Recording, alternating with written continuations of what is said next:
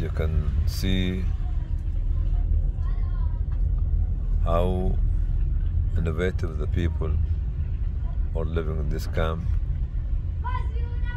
where try to capture their life with what they have of resources of very very limited resources or sometimes no resources.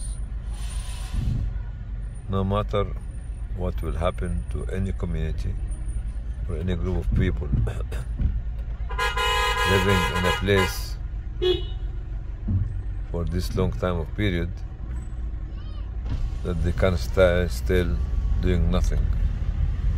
See these young girls crossing the road and these shops creating a local economy for the Palestinian refugees who have been staying in this area for 75 years.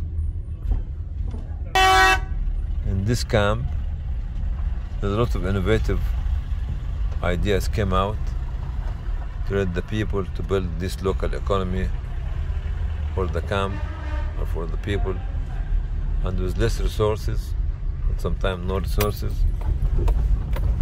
those people managed to create a new life for those generations who lived here in this camp over the last 75 years. All these shops and all these people are very resilient. They don't want from you a handout for food. What they want from you, justice to be prevailed to go back to their homeland. That's one thing. Second thing is to be empowered to build their own local economy. Thirdly, to be respected by everyone and anyone because they have the right to live and they exist. So today is a memorable day for me to see how people are resilient and nobody ever can break their back or can demoralize or humiliate them or can step on their toes. They managed and they will manage till Allah subhanahu wa ta'ala bring justice to them, inshallah. All these houses were uh, like uh, tents 75 years ago. Tent developed to become a mud house. Houses made out of mud. And now you can see all these houses, which actually they lived in it for the last 75 years. From Irbid, north of Jordan, with love to all of you. Assalamu alaikum wa rahmatullahi wa barakatuh. This is uh, part of Irbid refugees camp for the Palestinian people in North Jordan. People left their houses in 1948 and they came here to stay in tents. Tents like the tents we are actually having nowadays, hoping that they'll go back to their own homes and country uh, in a month or two months or three months or six months time. But they have been here for the last 75 years. The camp has been changed from a tent camp into mud houses into what you can see nowadays of uh, bricks and walls and concrete houses and this is my worry about the Syrian problem. Where with the longevity of the conflict becomes a protracted problem or crisis?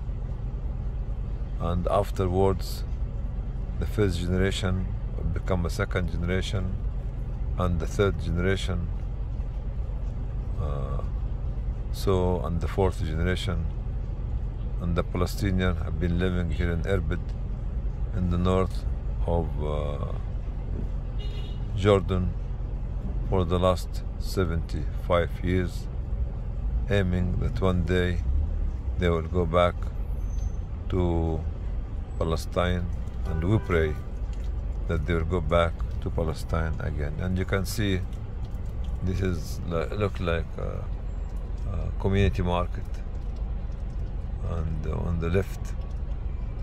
Actually shops shops on the right. And life goes on. Whether they stay in Irbid or they're still thinking to go back to Palestine uh, inshallah. And uh, this is how people actually come out with their dreams from their homeland to another homeland and they don't know where they're going to go back to the homeland again, inshallah. Uh, I'll be visiting some of the families here in Irbid and see all those second or third generation of Palestinian people are living in Irbid camp, actually north of Jordan life goes on. Life does not stop. Life does not wait for anyone. But if we want to develop life, we have to be ahead of the speed of life to create a better condition for the people who are living in their life, inshallah. See, look at the left. This is a part of the market which is being made by the people. Actually, people with hope and still having the hope with them that one day the just problem will be sorted out and each one of them go back to their houses, their land, their farm, actually inshallah. Uh, thousands of Palestinians still living here in this uh, camp, and uh, may Allah help them and help all of us to help them as well. Wassalamu alaikum wa rahmatullahi wa barakatuh.